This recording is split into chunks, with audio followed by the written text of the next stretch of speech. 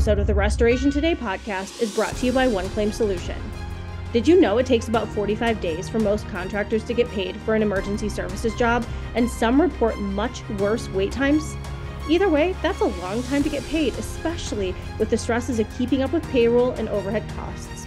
One Claim Solution is an insurance billing solution that not only gets their clients paid in 32 days on average, but also improves profitability and handles all communication with adjusters.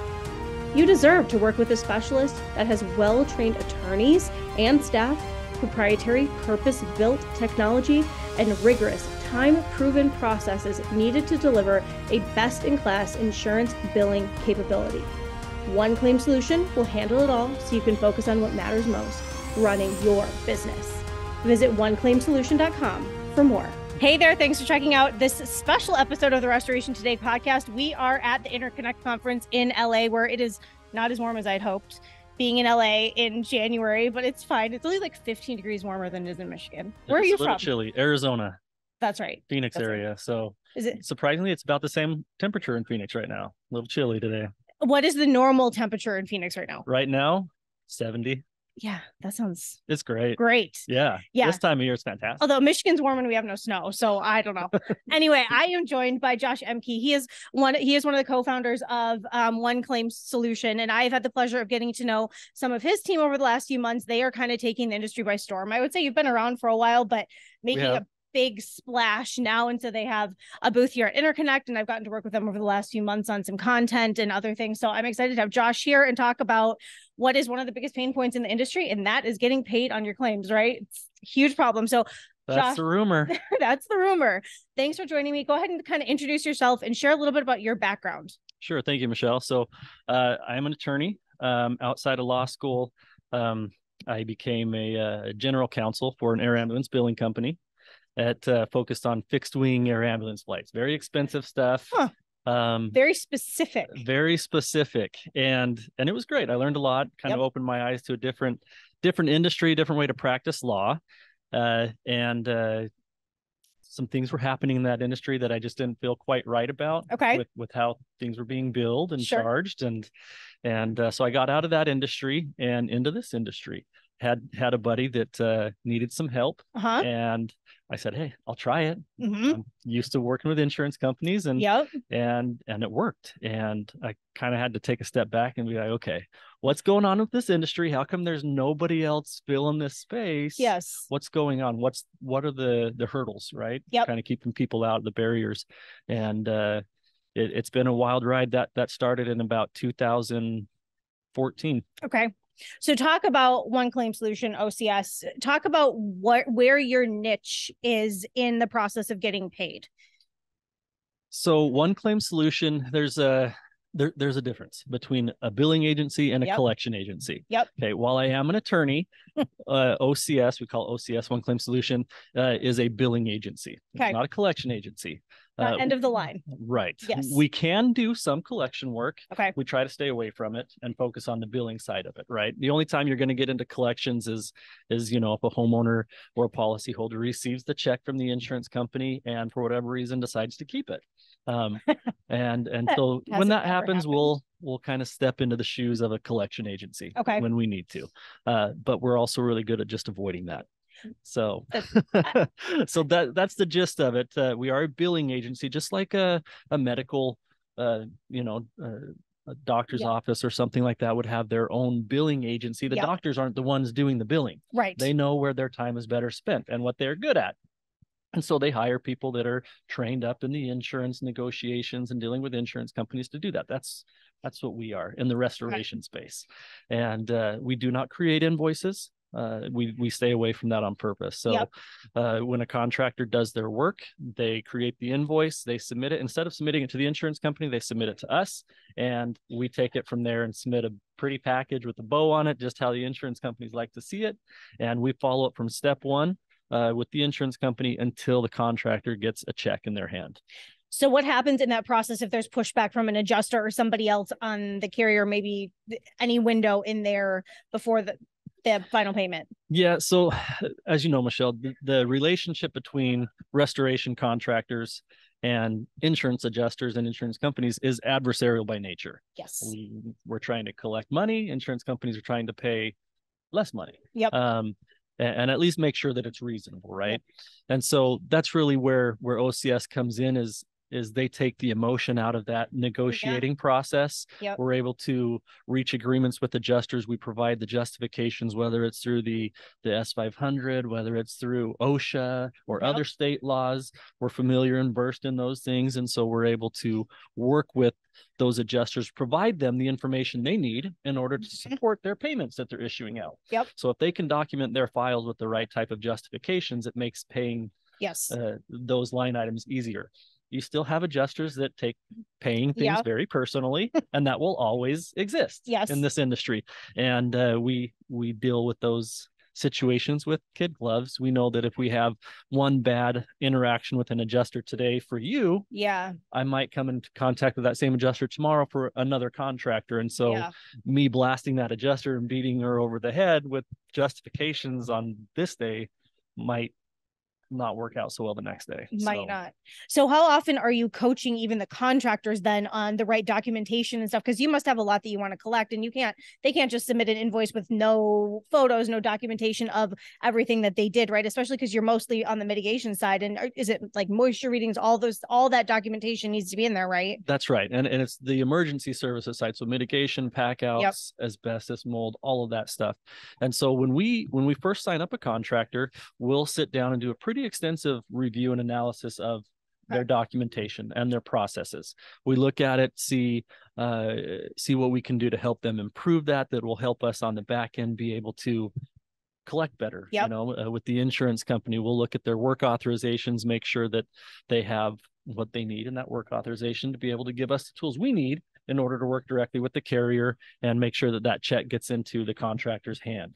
So, uh, and and through that through that process, we'll look at the contractor's invoices and make sure that that uh, they're hitting the current trends. I mean, we we represent contractors throughout the country, so we're able to recognize these trends and see what's being paid, what's not, what needs to be Mhm. justified in order to get those paid.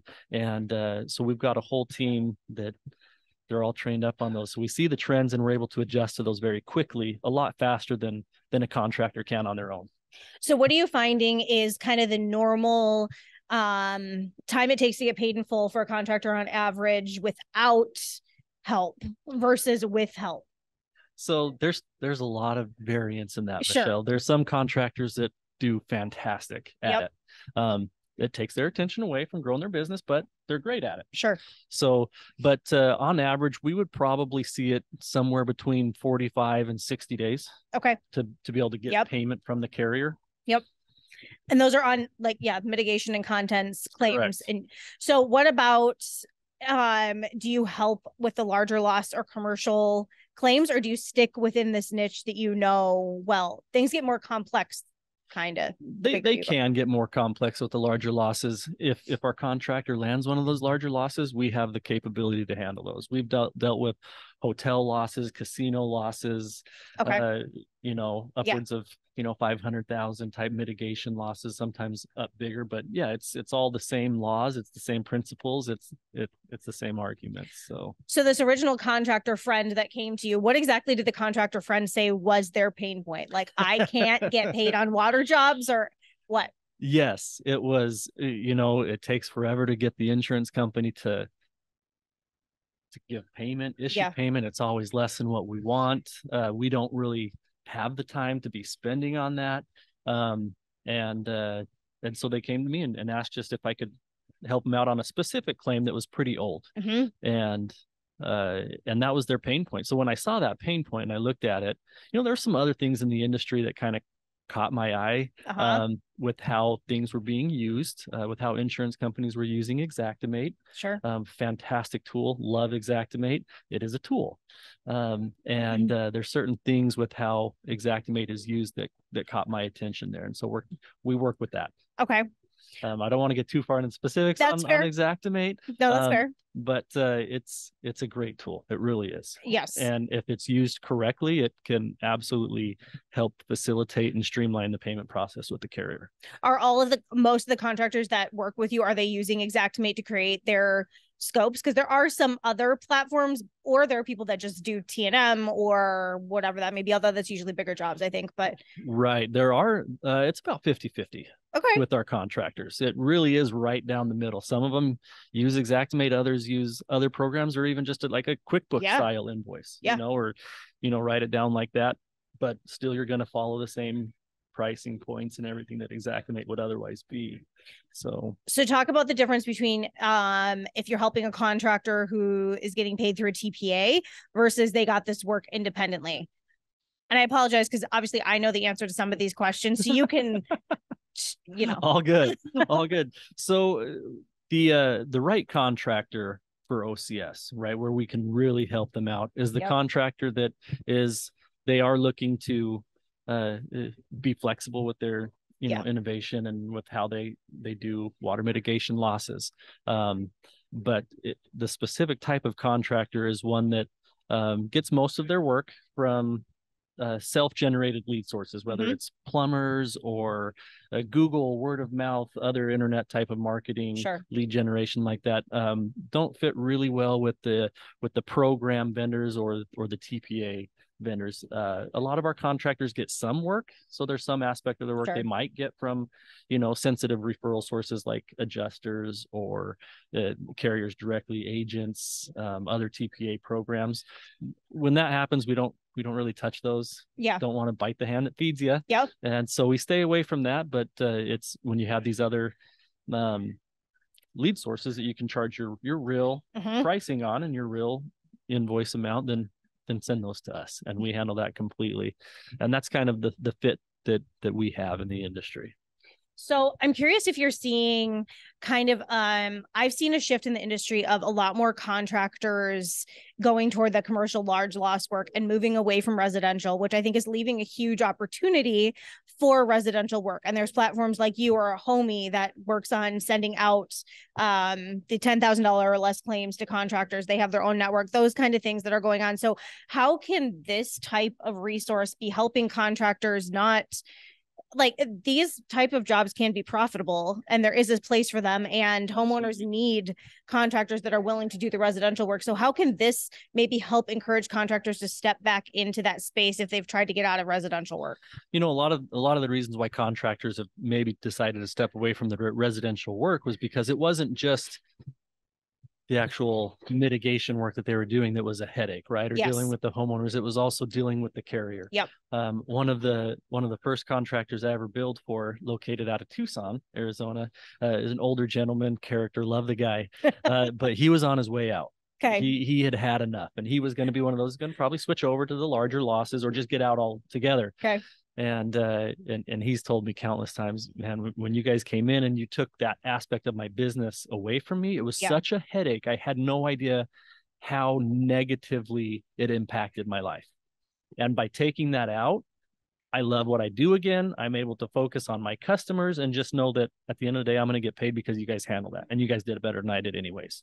I think that this has to be the number one frustrating point for contractors. I think it, it, it has to be getting paid is and i just had a contractor write an article about how i think contractors have almost lost their patience as well with having conversations with adjusters and walking through being kind of an educator on the process and what it looks like. Now contractors only have the bandwidth for so much right? So absolutely.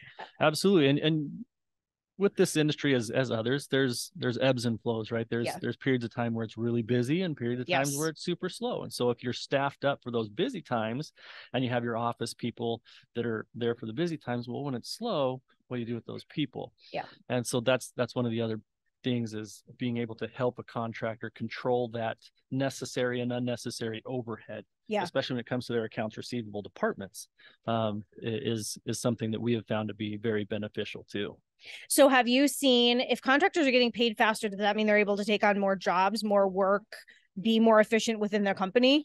so that's a good question and uh, that's go goes back to your question you asked earlier about what do we typically see contractors turnaround time Yeah. before they come to us Yep. I told you 45 to 60 days our turnaround times averaging right around 32 days and so with that faster turnaround time does come increased cash flow cash Mhm. is king Mhm. and when you're trying to harness those uh, those referral sources and partnerships you've got to be able to have the capital and the means to be able to pay for those referral sources. Yes. And so when you're able to get those those increased funds coming in sooner, it changes everything for these contractors. It makes them more flexible, it makes them makes them feel like they can actually go out and grow their companies and Mhm. focus on on that aspect of it. And those are the ones that we love to see. Yeah. We love to see a contractor comes in, takes them the increase in time that they have, takes the increase in revenues that they're receiving from these losses, and they reinvest both the time and money into growing their businesses. We love that. It's a it's a great fit, and we we love being part of that with them.